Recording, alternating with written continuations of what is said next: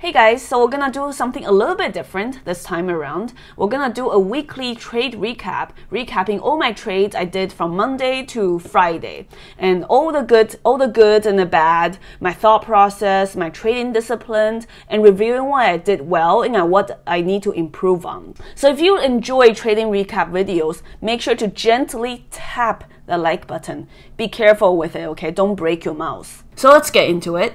So today, one of the gappers of the day was ASUR. It was gapping up because the company had some news about um, a potential $120 million deal to sell their workspace management business. Now, I did do some research. Um, this company, the market cap is only 100 million.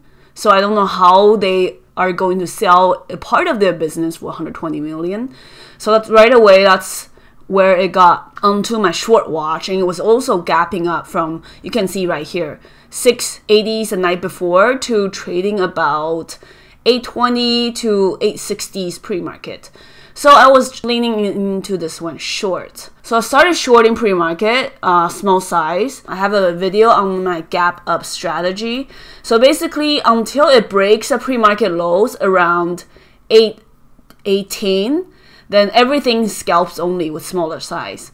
So started shorting pre-market, it starts working right away at the open, so that's usually a good sign. I covered some, reshorted on the pop back, and covered some, and I got I FOMO a little bit short because I was thinking it's finally gonna break pre-market low, but I was anticipating, I wasn't waiting for it. So that was a bad add right there. Thankfully, I added on the pops and covered really fast on the dips. And this is where I started seeing a lot of big sellers coming in every time the stock tries to spike up to 860s, 870s.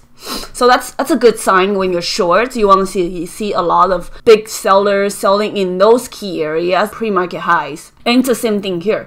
But I was still holding a little bit short here. I covered some. I don't want to make the same mistake as I had earlier. Covered some here.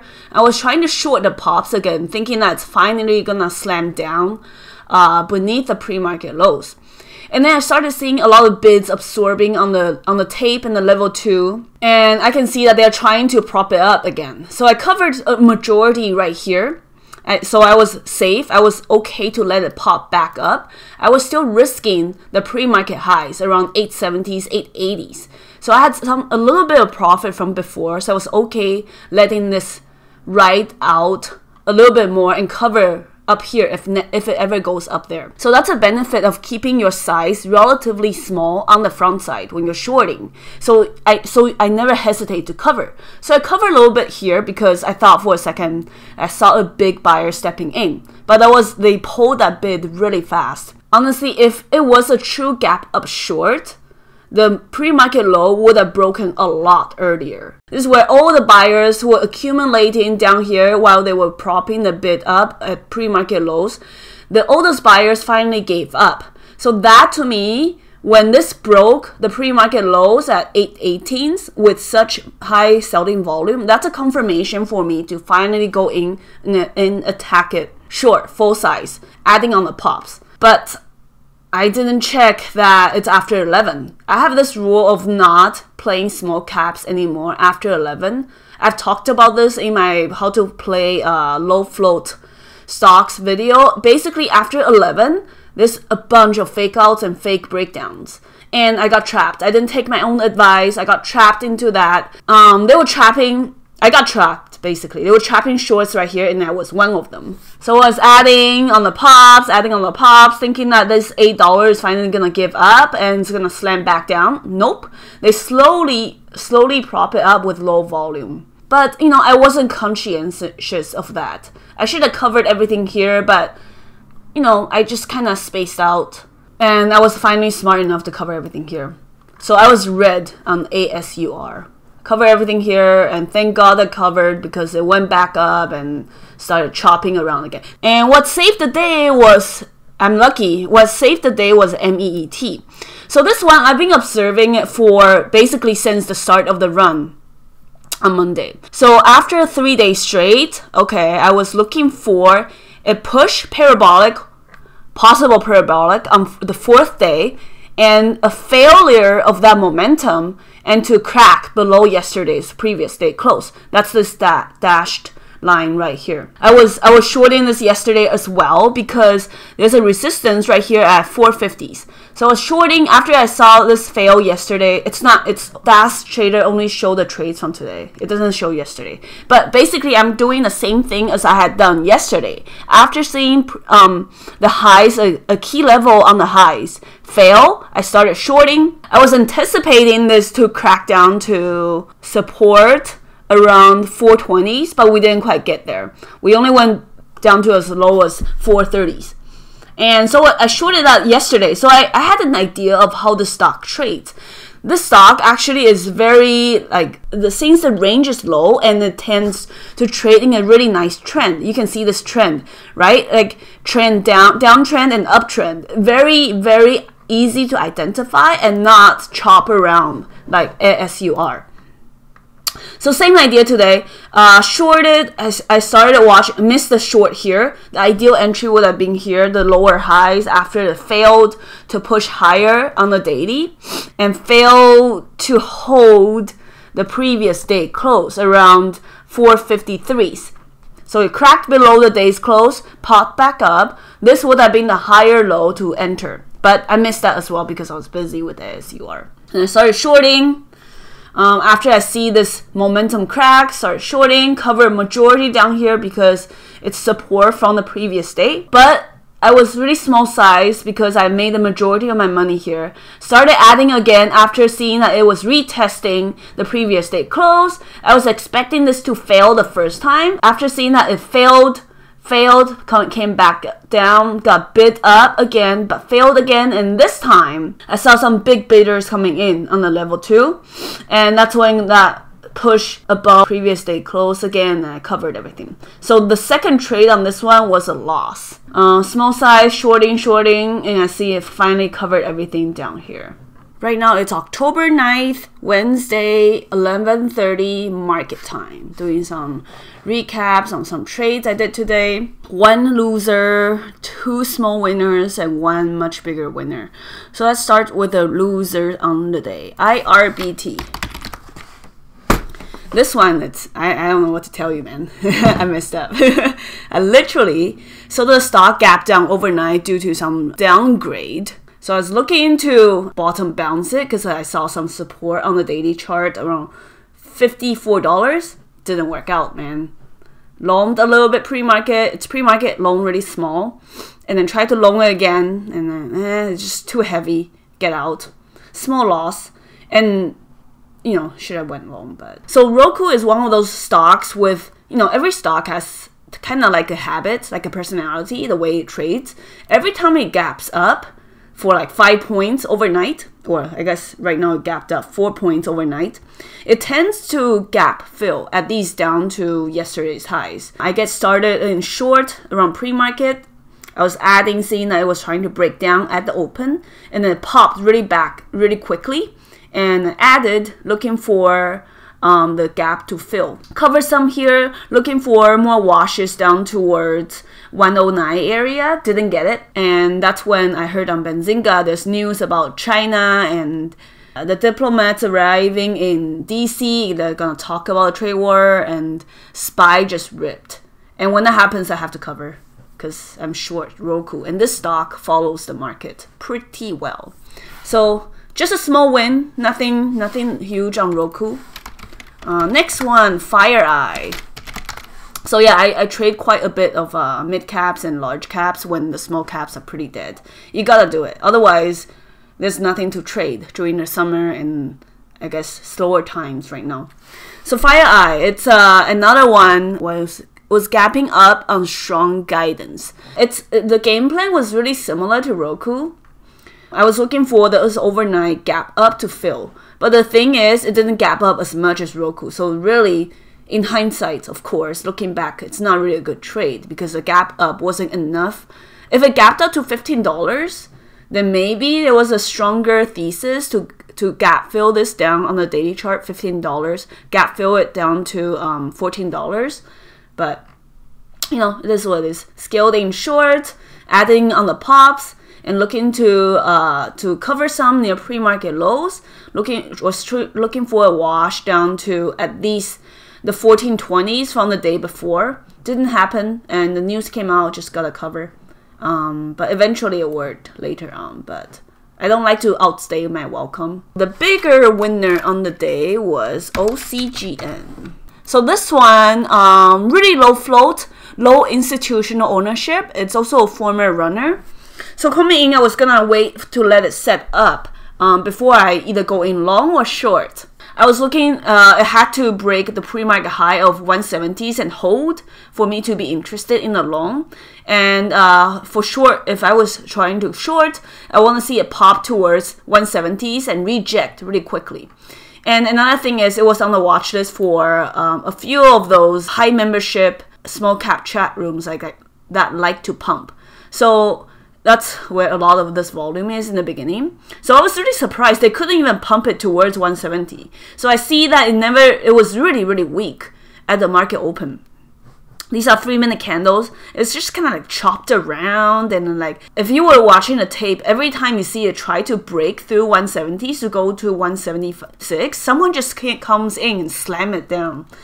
So I started in short, um, looking for it to stay weak near pre-market lows and reject VWAP and for me to keep on adding. And I added in a little bit bigger here. Um, I was covering some just in case because it was nearing 10:30, 11. I want to pay myself a little bit, um, just a little bit. But with these um, lower price stocks, you can take a lot more shares than a stock that's 120, of course. And then of course it dropped down a little bit lower, but I was all out. Um, I was gone for this entire time. Um, this is pretty impressive. I hope this stock holds up for tomorrow to give us like a second day or third day. But honestly, this ugly, ugly daily chart. Wait, let me show you. This ugly daily chart is so ugly.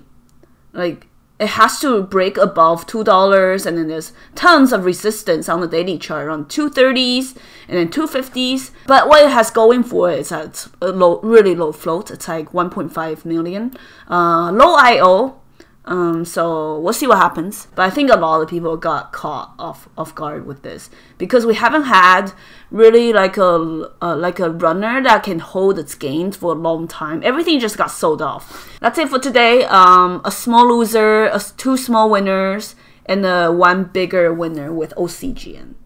Uh, gonna do a red day recap. Yes, today I ended it red, and we're gonna talk about it right now. OCGN is my big loser on the day, too big. And when sometimes when I chase, I use chase size. So the chase size will be just a quarter, so I'll leave a lot of room for me to add. But I got in too big here. This was this was already half my size. And then so when I was already half the size in, at this pop I can only add a quarter and a quarter.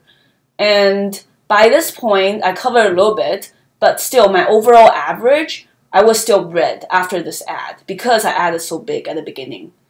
So I was waiting for that to fail and it was just holding up above the previous day close and also above VWAP.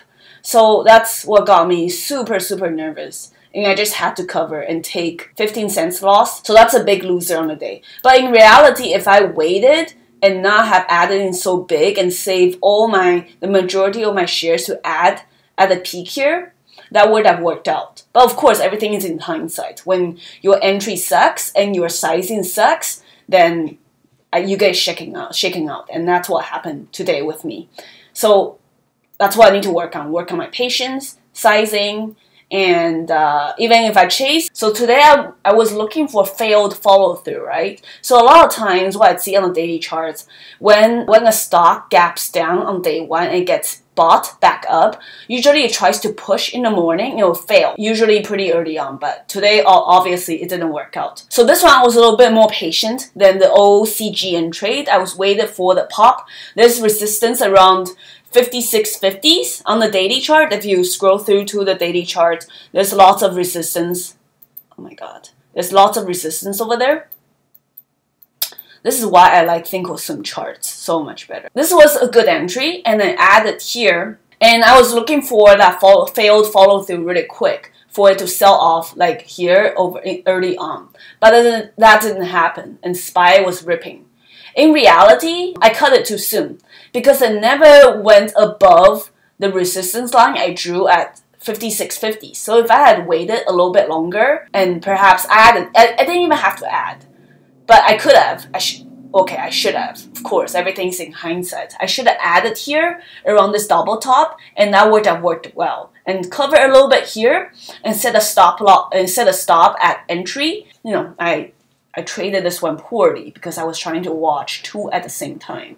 And a lot of times when I cut a big loser, I want to cut all the smaller losers as well and lose my patience.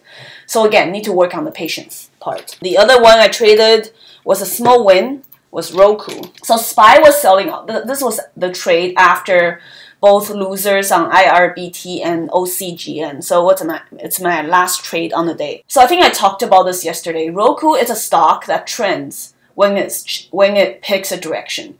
So you just be, need to be on the right side of the trend.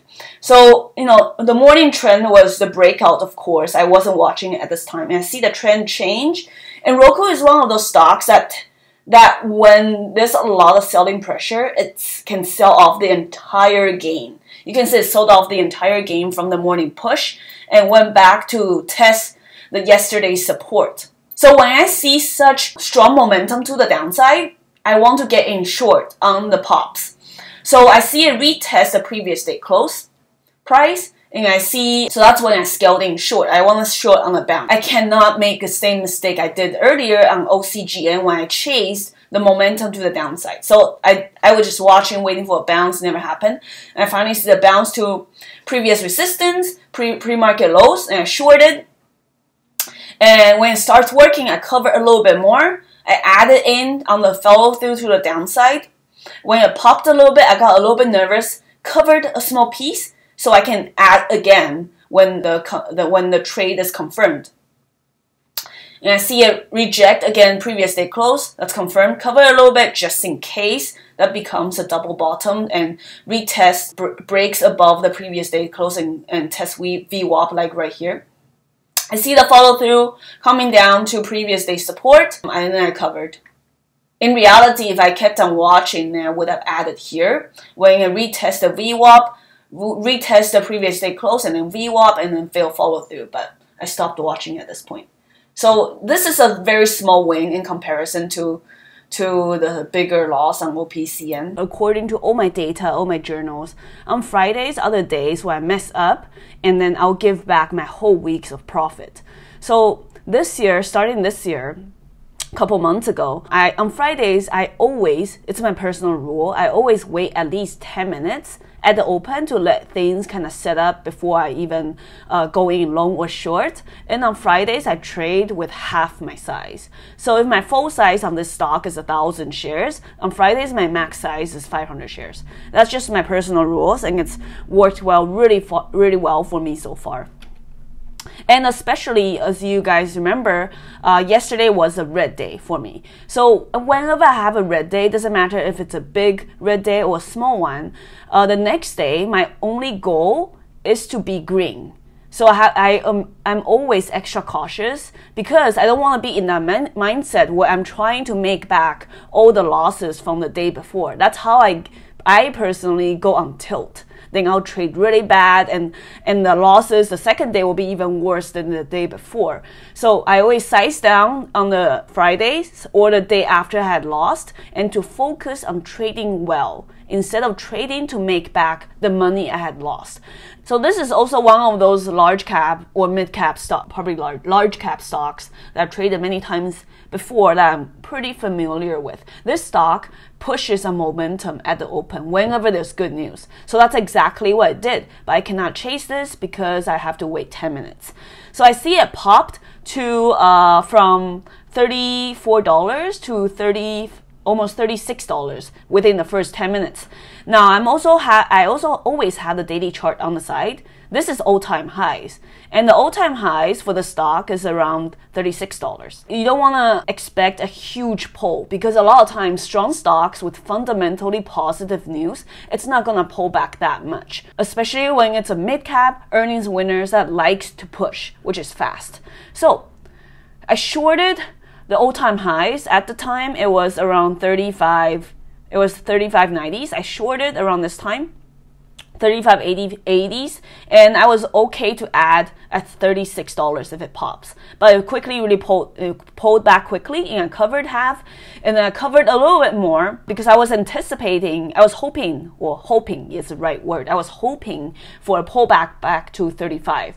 But when I see that it's holding really strong, I just have to cover everything and do not fight the trend. And you can see it, it pushed higher a, lo- a little bit later and then, you know, it, it held VWAP again, but I was already out of the trade. So it held the gap really nicely. So I'm looking next week, I will be looking for the stock to push even higher. Because again, good news, tech, good news fundamentally and technically on the daily, it's a breakout. Small winner on this one. The next one I traded is Roku. I think I've talked about how I liked Roku a lot because this stock gives me a lot of range and I love range, either up or down. So Roku gapped up overnight. I think this is like the third time this week I traded Roku. So remember uh, the day before on Thursday, I was short Roku on this bounce here and I covered here. To the, it gapped up overnight due to an upgrade by RBC Capital. So it gapped up from 116 to a high of 124. My rule again on Fridays, especially, I will have to wait 10 minutes and especially after a red day. But of course, this is in hindsight. This kind of gap overnight in the stock like Roku, it usually pulls back to fill the gap somehow, fill the gap around the daily support. So if I was if I was trading at the open, I would be trying to short this double top uh, with a pre-market, risking the pre-market highs for a potential gap fill back down to the, the, the next daily support. So this is the area when I was trying to scale in short. With a stock like Roku, you have to give it space to scale. So I scaled some at 121 and added more at 120s. And I was ready to cut it if it breaks 120s and flushes, which it did later on. But it started working. I sold into the pops, and actually you can see that here. I sold into the pops and I see a push higher and I see this quick rejection, that's when I see the trend. It's not over, like this is still a downtrend, right? On the one minute chart, Roku is still selling off.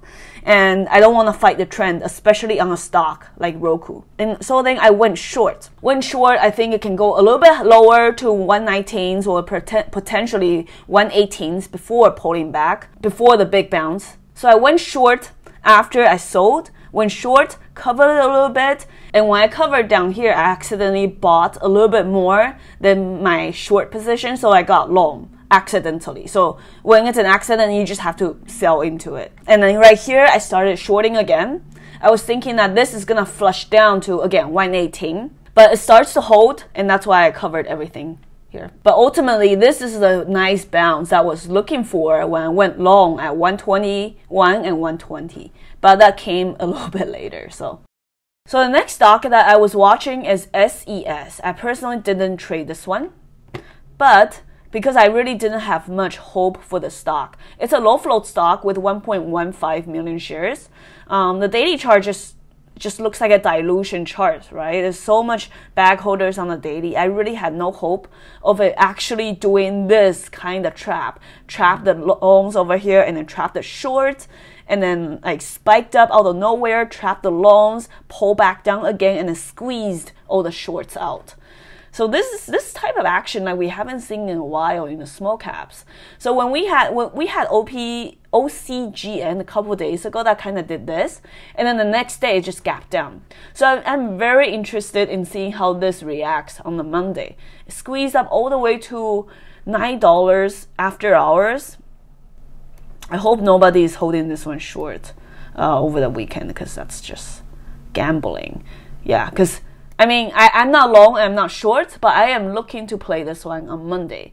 Either I think it'll gap up towards $10 and sell off, and then like trap all the longs and shorts again and do the same thing here, or it will gap down overnight, open up weak, trigger SSR, and then squeeze everyone out again on the day two. We saw very similar action with ELTK, squeezed everyone out at the end of the day on day one and on day two. They pulled it down to SS trigger SSR and then squeeze everyone up out again and create new highs. And then just trap all the longs when once it squeezed every all the shorts out, trap the longs and then just dumped at the end of the day. So small caps, very, very manipulative. Gotta be careful, everyone. So anyways, uh, happy to end this Friday with a great note. Again, size is cut 50% in all my trades today, and I was extra cautious with taking profits and my entries. So it's a small win, but overall, I'm still green on the week, so which is nice. So guys, let me know what you think about this kind of format of trade recaps when I post one every single weekend. I'm happy to all your feedback in the comment section below. Also, I got a new mic, so let me know if you enjoy this new audio quality or not. And as usual, if you find these kind of videos really helpful, please remember to destroy the like button. And have a good weekend, guys.